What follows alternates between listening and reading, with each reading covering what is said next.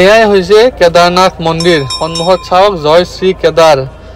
এয়া হৈছে কেদাৰনাথ মন্দিৰ। কেদাৰনাথ ধাম বা মন্দিৰ আপুনি যি বুলি কয় ক'ব পাৰে। চাওক কিমান মানুহ আহিছে বহুত মানুহ আছে। আৰু ৰাতিপুৱা তিনিটা বজাৰ পৰা তিনিটা বজাৰ পৰা মানুহে লাইন পাতি থকা বুলি কৈছে। এতিয়া সময় হৈছে সাতটা। সাতটা বাজিছে। বহুত মানুহ আছে বহুত। এতিয়া এইটো চাওক এইটো হ'ল সাৰ গৰু। আমি মহাদেৱৰ বাহন বুলি যাক জানো সাৰ গৰু এইটো। আৰু চাওক এই মোৰ অসম বুলি মোক কেনেকৈ চিনি পালে? কাৰণ মই ডিঙিত গামোচা লৈ আছিলোঁ সেইকাৰণে মোক অসম বুলি চিনি পাইছে। চাওক কিমান এটা প্ৰাউড মুমেণ্ট আৰু এতিয়া মই ইয়াতে অকণমান প্ৰসাদ ল'ম আৰু এখন গামোচা লৈছোঁ মই। গামোচাখন মই নিজে লৈ আহিছোঁ ঘৰৰ পৰা। এইখন মই মন্দিৰত দি দিম। আৰু ইয়াতে প্ৰসাদৰ পেকেট পায় এনেকুৱা দুইশ পাঁচশ আপোনাক যি যি লাগে সেই হিচাপত প্ৰসাদ পায়। এনেকুৱা বেগত দি দিয়ে এইটো মই যাই মন্দিৰত এইটো দি দিম। আৰু এতিয়া প্ৰথম কথা হ'ল মই লাইন পাতিব লাগিব। আপোনালোকক লাইনটো মই দেখাই দিছোঁ চাওক কিমান লাইন এইফালে। গোটেই মানুহ এইবিলাক পূৰা লাইন ৰাতি তিনিটাৰ পৰা এনেকৈ লাইন পাতি আছে মানুহে।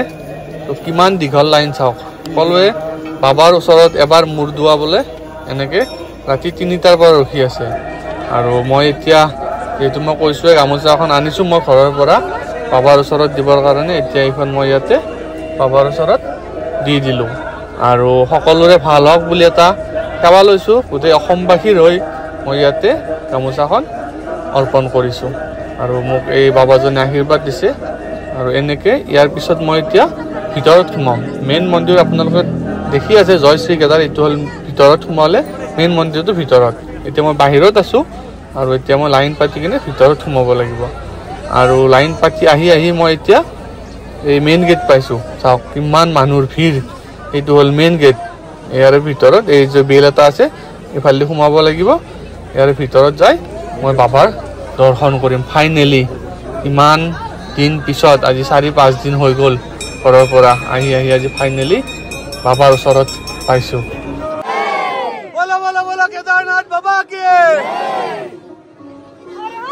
महादेव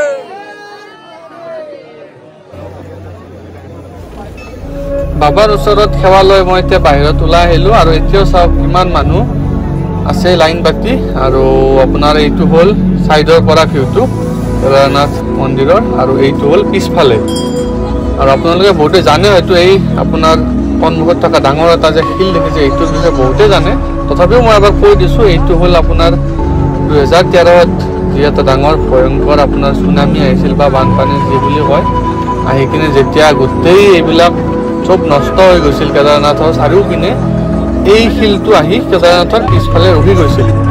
আৰু যাৰ কাৰণে কেদাৰনাথ মন্দিৰৰ একো ক্ষতি নহ'ল। ত' এতিয়া এই শিলটোক ভীমশিলা বুলি কয় ভীমশিলা। ত' ইয়াতেও বহুতে পূজা কৰে সেৱা লয়। এয়াই হ'ল কেদাৰনাথ মন্দিৰ। বহুত মানুহ আছে। আৰু মই গোটেই দিনটো আজি ইয়াতে কটাম। তাৰপিছত নেক্সট ডে মই ইয়াৰ পৰা ৰিটাৰ্ণ হ'ম। আপোনালোকে আহক কেদাৰনাথ মন্দিৰ।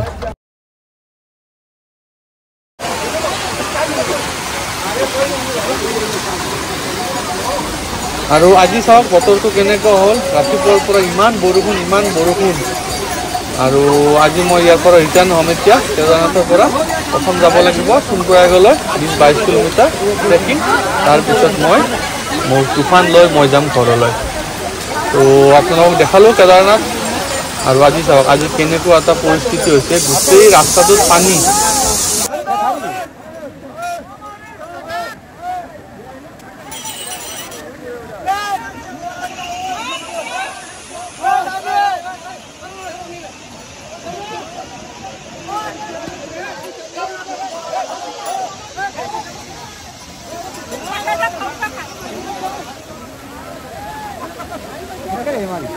Thank